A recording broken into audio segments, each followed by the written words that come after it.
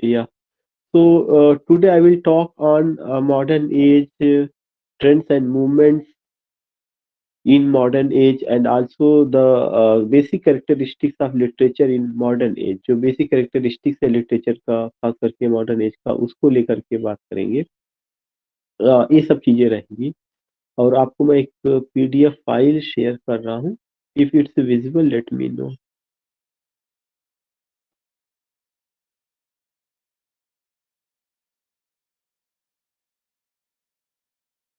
is it visible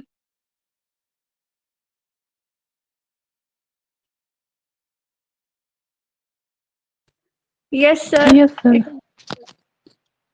yeah so what i want to say today i will go with this particular topic uh, modern age characteristics of modern age and you will come to know that there are 18 pages 18 pages है इस 18 pages में से कई question important है और हमें basic रूप से पता हो जाना चाहिए कि आखिर मॉडर्न एज का क्या क्या कैरेक्टरिस्टिक्स है, उसकी क्या क्या खासियत थी कौन कौन सी चीज़ें आई हुई है।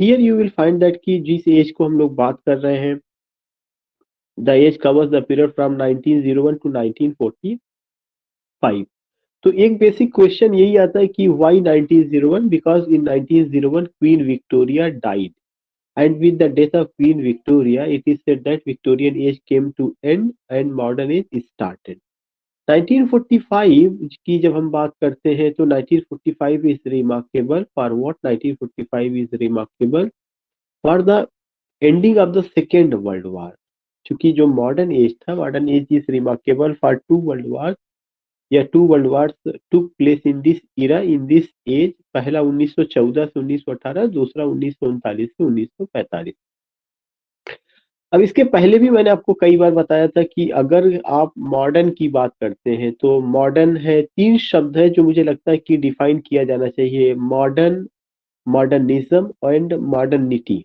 there are the three important words, modern, modernism and modernity when i talk about modern age yeah when i say this is the modern age then remember that key that modern age means what? It it is it is like an adjective and it covers yeah it tells. If i if i use the word modern with age it means that it tells about period the particular period that is the period of 1901 1945 but it tells uh, it also gives a clue key that is it, it it's uh, there there is a difference between modern age and victorian age. What the characteristics in the field of literature in other fields of uh, you can say life we find in victorian era those things were the extension uh, those things have been extended in modern age. So what i want to say what i want to tell you whenever you go with this age whenever you go with this era you will come to know that this era is important this era is highly significant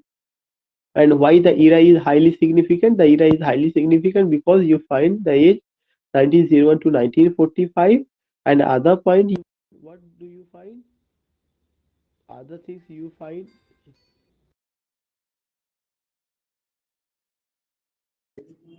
sir आपकी आवाज नहीं आ रही है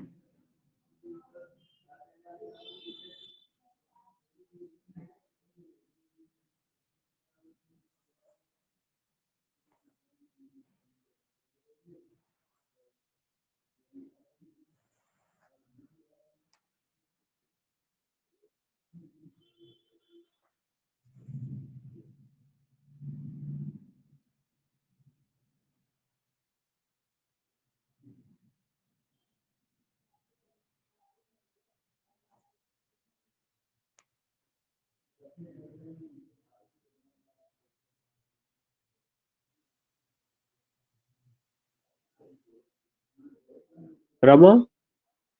yes sir. Yes sir. Ab aa ah, rahi yeah. sir. Okay.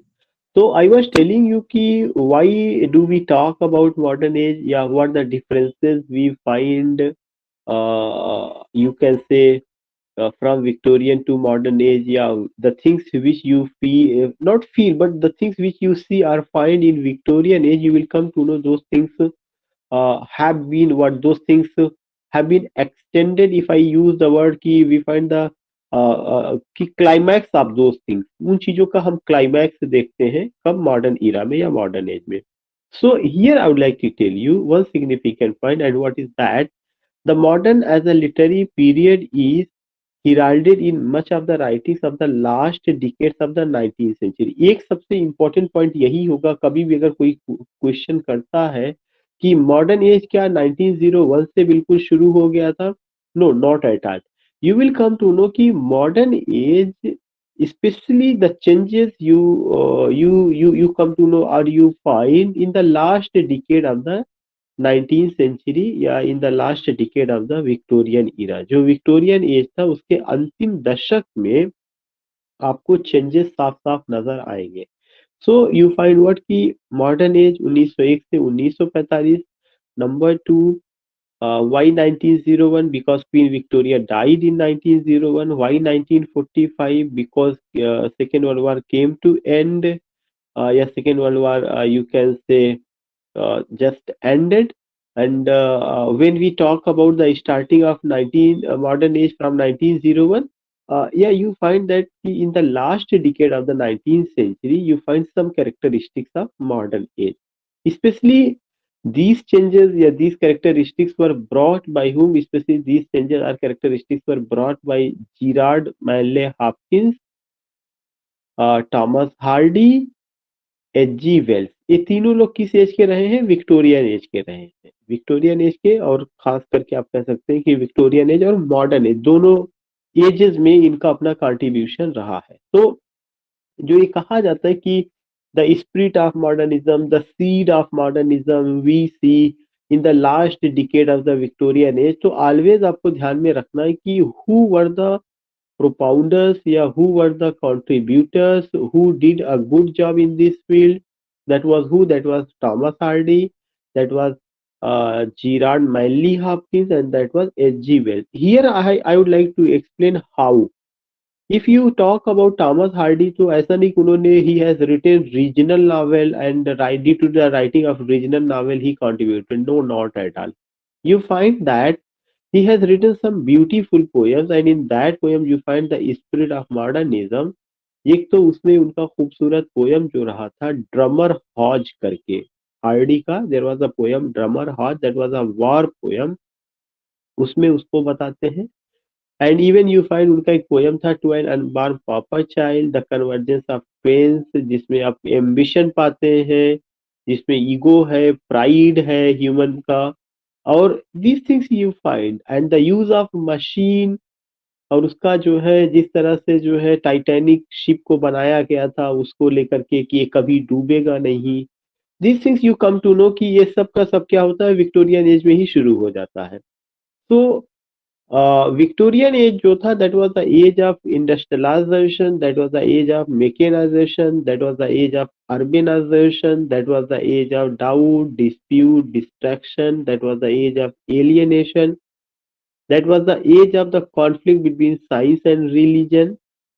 That was the age of mass migration of the people from village to city area. That was an age of marxism. That was an age of uh, imperialism. That was an age of aesthetic movement. That was an age of Oxford or Tractarian movement. And you find key so many changes especially in the field of uh, uh, especially in the field of what? In the uh, in the field of uh, that was what? The religious belief the religious belief of the people were shaken by whom? By charles darwin. He wrote a book, origin of species and in 1859 so जो चीज़ें आप वहाँ पे देखेंगे, उसी चीज़ का अगर मैं कहूँ कि वो सारी चीज़ें क्लाइमैक्स पे पहुँचती है। क्लाइमैक्स पे कब पहुँचती है? विक्टोरिया मॉडर्न एज में। जितना भी बात बताई गई है। तो मॉडर्न एज का जो शुरुआत है हार्डी ने किया, मॉडर्न एज का जो शुरुआत है, जीराड मैले हाफकिंस ने किया and how do you find Gerard Manley Hopkins Gerard मैले हाफकिंस फ़र्स्ट मॉडर्न पोएट ये कहा जाता है though he was belonging to Victorian era but he has been addressed as first modern poet because he brought changes, especially the use of curtal sonnet. उन्होंने curtal sonnet का use किया था।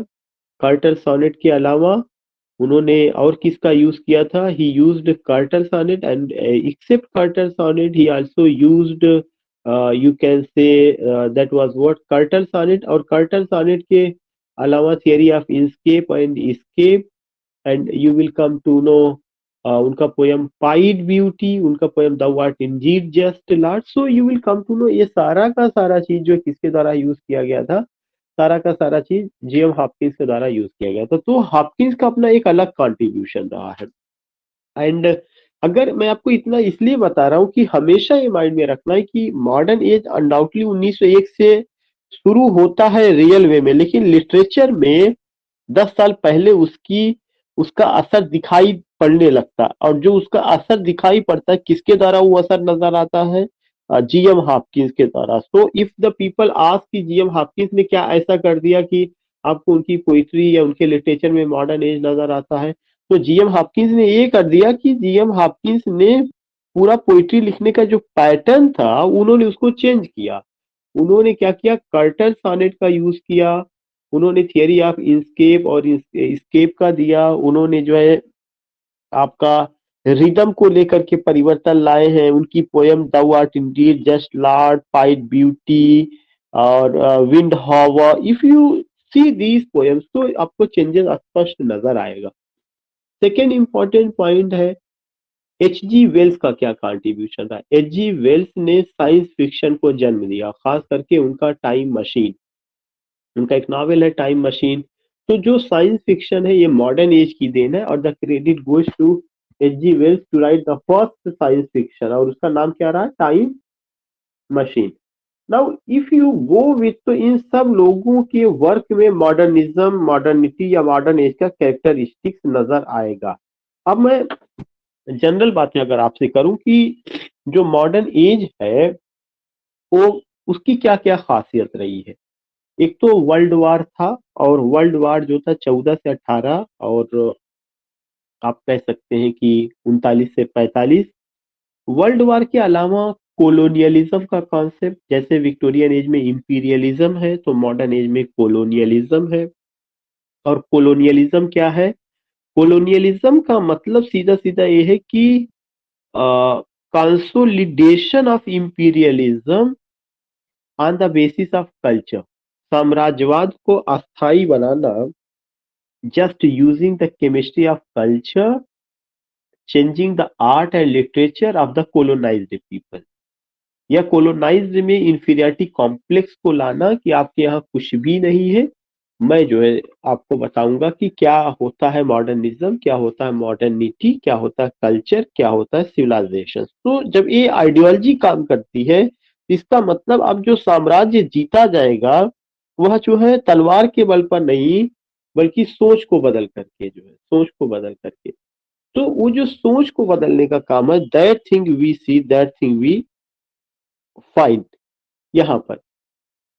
Second important point where I talk about this H G Wells where I talk about characteristics of modern age तो एक और चीज़ें आपको देखने को मिलेगा कि मॉडर्न एज में degradation of the moral values नैतिकता की काफ़ी ज़्यादा गिरावट है काफी ज्यादा कमी है नैतिकता की and how do you find the degradation of the moral values you can take any poem if you take the poem of only the waste land by ts eliot you will come to know april is the cruelest month he talks about lust he talks about passion he talks about how women have been kidnapped he talks about pub restaurant culture hotel और और तमाम तमाम culture का तो degradation of the moral values modern age का एक और खासियत रहा है। दूसरा चीज़ की industrial life mechanical life and you find that there was no bondage no humanity no goodness no virtue this things you don't find here I would like to explain here I would like to tell you whenever you go with this point you come to know about this thing ये सबका सब चीज़ वहाँ पर नज़र आता है। So just I want to tell you only one point and what is that ki we find and what do we find we find ki in modern era in modern age things have been changed undoubtedly लेकिन जो changes आया वो Victorian age का जो था उसी चीज़ का हम क्या करते हैं कि काफ़ी हद तक उसी का फैलाव नज़र आता है विक्टोरियन एज भी आइडेंटिटी क्राइसिस को लेकर के था क्लास स्ट्रगल की बात थी। विक्टोरियन एज में भी राइट्स को लेके बात होती थी। फ़र्स्ट रिफॉर्म बिल पेश किया गया था। विक्टोरियन एज में भी आपको जो है पब, रेस्तरा, होटल का कल्चर का शुरुआत हुआ था। बहुत ज़्यादा नहीं था, लेकिन ये सब चीज़ें वहाँ पर जो साइंस प्राइमरी हो गया था, रिलीजन सेकेंडरी हो गया था, सेम यही चीज़ हम मॉडर्न एज में भी देखते हैं। इसके अलावा बहुत सारे एक्सपेरिमेंट हुए थे। और वो सारे एक्सपेरिमेंट्स अब सबसे पहले ये जो एक्सपेरिमेंट हुआ था, किसमें हुआ था? फॉर्म में हुआ था। फॉर्म को लिटरेचर के फॉर्म में हुआ था, उसकी लैंग्वेज में हुआ था, उसकी स्टाइल में हुआ था। और ये सब जो लाने वाले थे, ये लोग कौन थे? वर्जीनिया वुल्फ ने ये चेंजेस लाया जेम्स जॉयस ने लाया ई एम फास्टर ने लाया। और एक नई सेंसिबिलिटी डेवलप की गई जो है। So here I want to tell you कि यू फाइंड अब मैं यहाँ पे जो चेंजेस आए हैं, आपको एक दो एग्जांपल देके समझाना चाहूँगा कि how do you find changes in modern age specially in form in style in language सबसे पहला चीज़ की विक्टोरियन एज में जो पोइट्री लिखी गई थी, वो ब्लैंक वर्स में थी। मॉडर्न एज में इसका यूज़ किया जाता है फ्री वर्स का यूज़ किया जाता है। विक्टोरियन एज में जो पोएम्स थी ज़्यादातर उसमें सब्जेक्टिविटी नज़र आती है। Whether you talk about William verse whether you talk about Tennyson whether you talk about Matthew Arnold whether you talk about Hardy they all composed lyrics लेकिन जब हम मॉडर्न uh, एज में आते हैं तो लिरिक का तो कॉन्सेप्ट है। लिरिक इन द सेंस कि वी फाइंड कि poems have been composed but ज़्यादातर जो इम्पोर्टेंस दिया गया, वो सब्जेक्टिविटी को ना दे करके ऑब्जेक्टिविटी को दिया गया। जैसे इंटीरियर मोनोलॉग लिखा गया ड्रामेटिक मोनोलॉग लिखा गया, या ऐसी पोएम्स लिखी गई जिसमें जो है हाईली फिलोसफिकल है एल्यूजन्स है रेफरेंसेस है whether you talk about W B Yeats का sailing to Byzantium Byzantium the second coming whether you talk about uh, uh, means any poem you can take and you will come to know कि उन सारी poem में इन सब चीज़ों को लेकर के बात कही गई है या बात बताई गई है so i would like to tell you one significant point i would like to tell you one important point and what is that that is only one thing ki if you go with these points कि form में changes आया तो कैसे specially if you go with the novel in the novel you find the use of stream of consciousness technique and stream of consciousness technique was used by whom by william james in his book principles of psychology in 1890 later on this technique was adapted in his uh, in his or her novels by virginia woolf james joyce और भी लोग आए थे Henry James ने भी portrait of the portrait of a lady में उन्होंने इसको एडॉप्ट किया था। So here I would like to tell you if I go if I talk about James if I talk about की the changes you find in the field of the novel so you can just understand just see these changes next point ये आता है कि subject matter को लेकर के तो subject matter में मैंने बताया कि लस्ट है पैशन है सेक्सुअलिटी है होमोसेक्सुअलिटी है degradation of the moral values है मटेरियलिज्म है clash between science and religion है degradation of the moral values है, और इसके अलावा यू कैन जस्ट सी कि लैक ऑफ़ सेंसिबिलिटी है गुडनेस वर्च्यू की कमी and so many things you find तो नॉवेल में एक इंच, एक चीज़ देखा गया कि the technique that was adopted by James Joyce Henry James and Virginia Woolf especially that technique was used to tell the inner attributes of a man और वुमेन की एक कैरेक्टर अंदर से क्या है, वो क्या फील करता है, उसकी क्या मनोदशा है, उसको लेकर के समझने की कोशिश की गई है। तो दीज थिंग्स यू फाइंड और इसी तरह से क्रिटिसिज्म में अगर आप देखेंगे टी एस एलियट का आपका tradition and the individual talent theory of impersonality T S Eliot का metaphysical poetry association of sensibility dissociation of sensibility T S Eliot का Hamlet and his problem you find objective correlative technique तो तमाम नई technique तमाम नए बदलाव literature में देखने को मिलेंगे। इसके अलावा if you talk about I A Richards practical criticism if you talk about language को लेकर के मेटाफर को लेकर के तो उनका जो लैंग्वेज का था scientific language and literary language emotive language cognitive this things you come to know तो ये सब चीज़ें जो है आपको मॉडर्न एज में देखने को मिलेगा।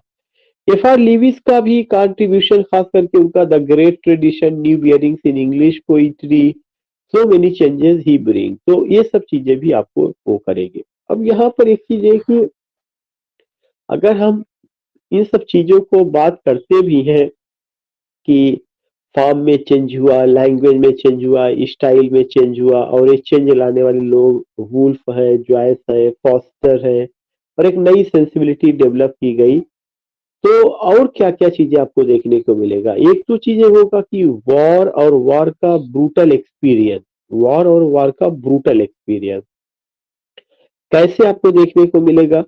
Specially if you Siegfried Stesen, if you take uh, Wilfred Owen, if you take uh, Wilfred Owen Rupert Brooke उन लोगों ने जो वॉर का एक्सपीरियंस दिया हुआ है that was the first hand experience of the war तो वॉर को लेकर के specially brutality of the war specially इस पे बिलीव करना war is not the solution of any problem और कुछ लोग कहते हैं वार वार हीरोइक डीड्स ये इस पर भी बात की गई है। And you find the next point एक और पॉइंट आपको देखने को मिलेगा, और वह क्या चीज़ रहा? हाई इंपीरियलिज्म इस एज में इंपीरियलिस्टिक या हाई इंपीरियलिज्म को भी लेके। अब हाई इंपीरियलिज्म क्या है? High imperialism in the sense that की the empire which was you can say which was established by the Britisher they turn it in to colonialism they turn it in colonialism they made the colony and they started to rule over there that is the concept of the high imperialism first they won the nation first they won the land by using sword by conquering it and after conquering they started to change the ideology of the native or born people और साथ ही साथ and new ideas and you find what and you find some new ideas in philosophy में कुछ नया ideas आया psychology में psychology में पहले आपको बता दिया गया स्टीम ऑफ़ कॉन्सियसनेस टेक्निक और इसके अलावा सिगमन फ्राइड का, विलियम जेम्स का, विलियम जेम्स का भी मैंने बात किया था कि history of consciousness technique in his book और बुक का क्या नाम है? बुक का नाम है principles of psychology so if I talk about modern age modern era so you come to know these changes we find these changes we see now the next point radical departures in views about God बहुत सारा departure हुआ जो लोगों का विश्वास था God को लेकर रिलीजियस को लेकर के रिलीजियस डॉक्ट्रिन को लेकर के सेक्सुअलिटी को लेकर के, ये सब जितनी भी चीज़ें थी, इस पर लोगों का जो है क्या हुआ कि रेडिकल डिपार्चर इन व्यूज़ मतलब लोगों का नज़रिया बदल रहा था। लोग अब उस तरह के नहीं रह गए थे जिसको ये वर्ड यूज़ किया जाए कि टैबू टाइप के, या taboo means stereotype stereotype का मतलब इन द सेंस कि वो जिस कल्चर में, जिस जगह में या जिस समाज में रह रहे हैं, उस परंपरा को, उस सोच को छोड़ना नहीं चाहते हैं। तो टैबू या स्टीरियो टाइप का ये जो कॉन्सेप्ट है मॉडर्न एज के लोग इससे, इसको डिनाई करते हैं। और वे खुल करके सेक्स पर बात करते हैं रिलीजियस को लेकर के where is God how is God तमाम चीज़ें सो यू फाइंड की ऑल दिस थिंग और मैंने बताया था कि मॉडर्न एज को अगर हमें समझना है तो तीन शब्द को डिफाइन करना पड़ेगा। Modern modernism and modernity already I have defined in my previous lecture not in this class दूसरे क्लास में। मॉडर्न जो होता है या क्या है, यह एडजेक्टिव है, जो किसी पर्सन को या 1901 से लेकर 1945 का जो पीरियड है, उस पीरियड में जो पर्सन है, जो गुड्स है उसकी एट्रीब्यूट को बताने के लिए क्योंकि वो पर्सन या वो गुड्स विक्टोरियन से डिफरेंट है, इसलिए वो मॉडर्न है। उसमें सम चेंजेस यू फाइंड और वह चेंजेस क्या क्या आप पाते हैं कि वो टैबू नहीं है स्टीरियोटाइप नहीं है they have radical departure in views specially related to God religious doctor and sexuality modernism ideology है जो उस उसको जी, जीता है या उस पर विश्वास करता है वो एक आइडियोलॉजी है मॉडर्निज्म मॉडर्निटी जो चेंजेस आए हैं जो देखने को मिलते हैं वो चीज़ें आपका क्या है? मॉडर्निटी है। तो modernity the particular changes the particular बदलाव which one see one feel 1901 to 1945 वो मॉडर्निटी का कॉन्सेप्ट है।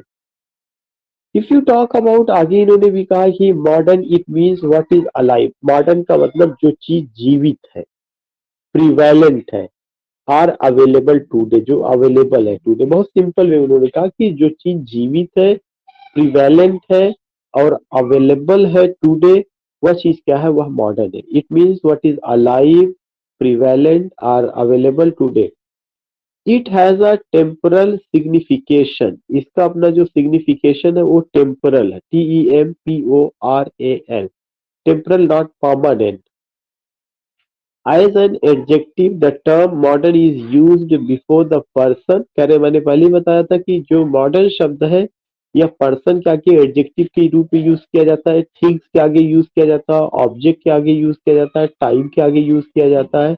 Which occurred happened emerged from 1901 to 1945 तो मॉडर्न जो है 1901 से लेकर 1945 तक अगर कोई घटना घटित हुई है, कोई ऑब्जेक्ट है, कोई पर्सन है, उसके आगे यूज़ करके उसकी खासियत को बताया जाता है कि ये लोग विक्टोरियन जैसे नहीं है।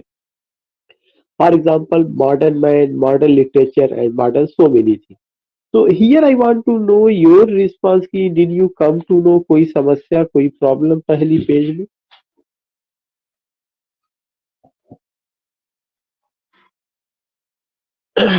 रमा या साध्वी?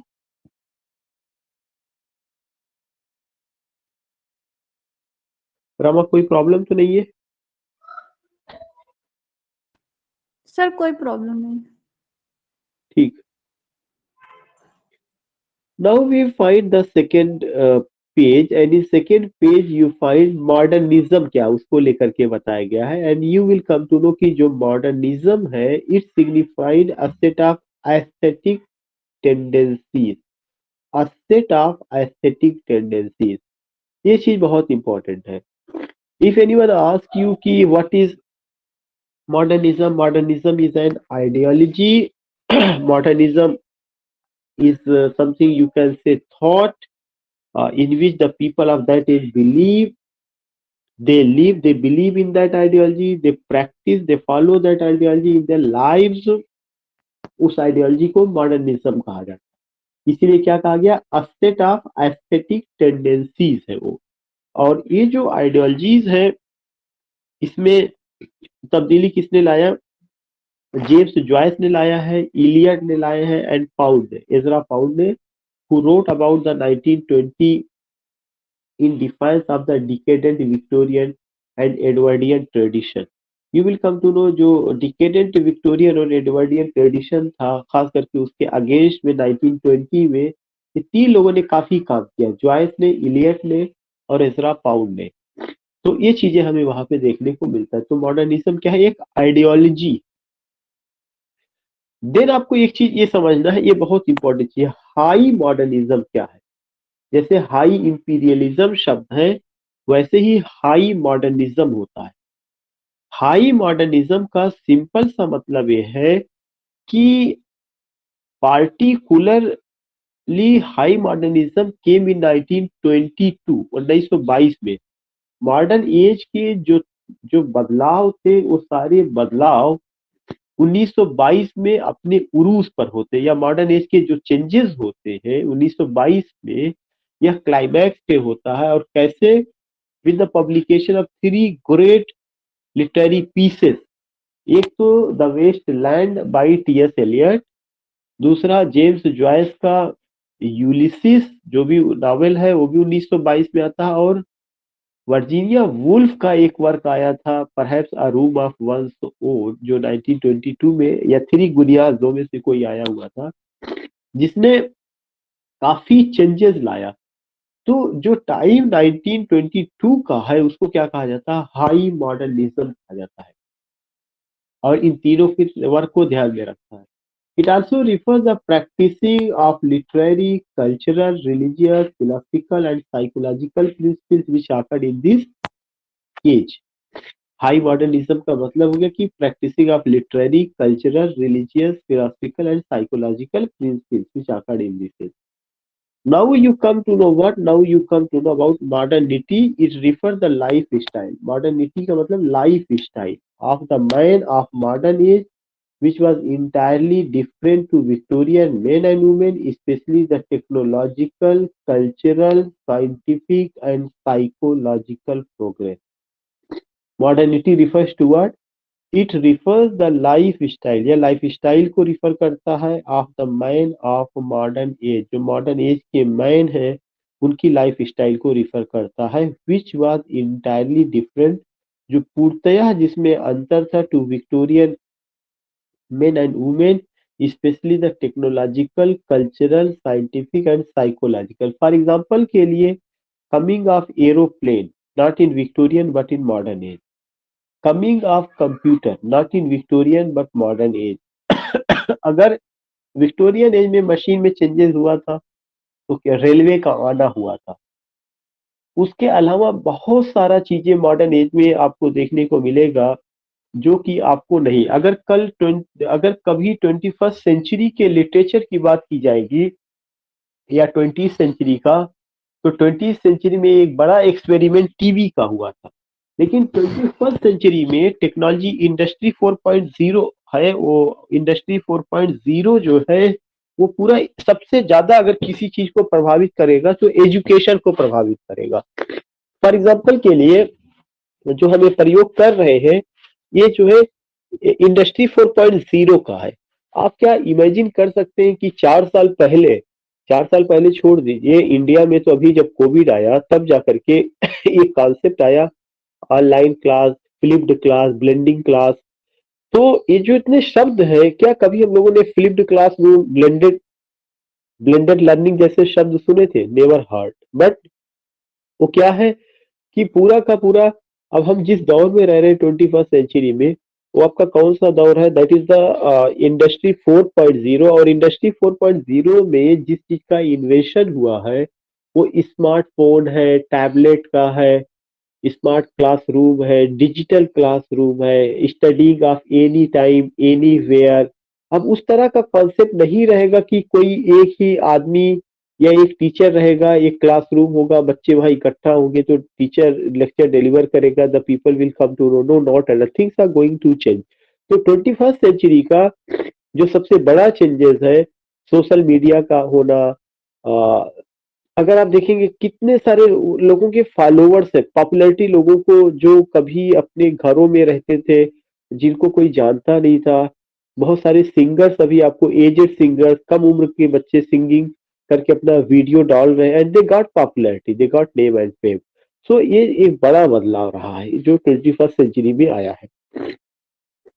द टाइमिंग इसका जो टाइमिंग है, कोई बहुत एग्जैक्ट नहीं है, लेकिन उन्नीस सौ एक से लेकर उन्नीस सौ पैंतालीस तक का बात की गई है। मैं लास्ट पॉइंट कवर कर रहा हूँ कि basic features of modern age क्या है। सबसे पहला चीज़ की the spread of education education में बहुत तेज़ी के साथ फैलाव आया।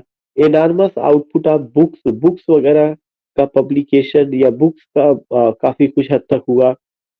तो spread of education enormous output of books the literature of social purpose जो लिटरेचर था उसका पर्पस क्या था? सोशल पर्पस था सोशल पर्पस से क्या मतलब है? कि हम उसको सामाजिक तब्दीली लाए समाज का या जो हमारे माशरे हैं उसके जो हालात है उसका रिफ्लेक्शन लिटरेचर में हो।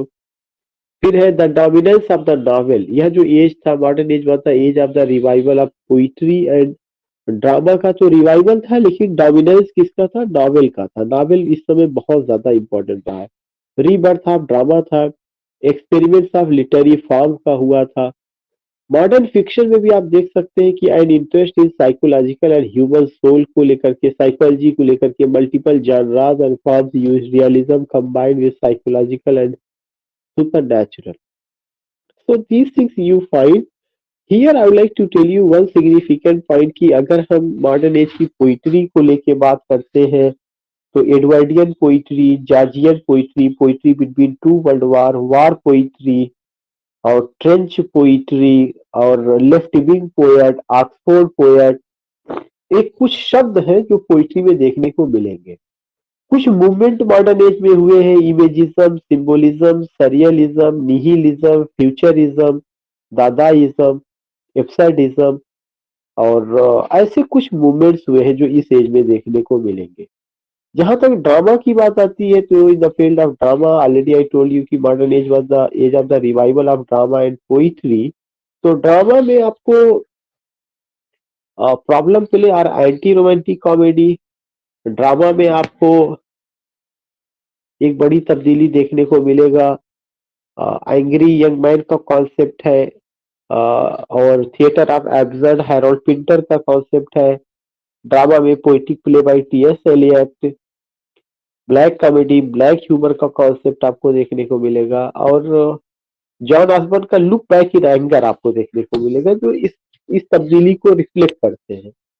इसके अलावा नॉवल में of consciousness technique psychological novel वो बात हो चुकी है, लेकिन कोलोनियलिज्म को लेकर के एक नॉवेल ये फास्टर ने लिखा था, जिसमें उन्होंने ब्रिटिश और इंडियन के रिलेशनशिप को बताया था पैसेज टू इंडिया ये फास्टर ने होमोसेक्सुअलिटी को लेकर के नॉवेल लिखा था माउरिस नॉवल उसमें उस सब्जेक्ट मैटर को लिया हुआ था।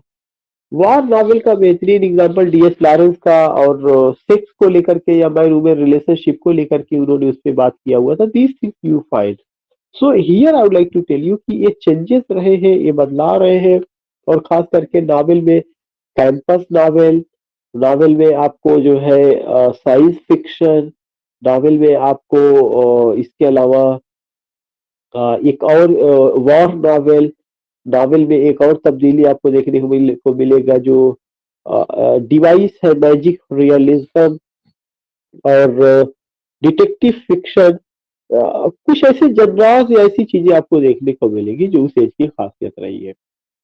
तो now concluding it I think कि आज हम लोगों ने कवर किया इसको।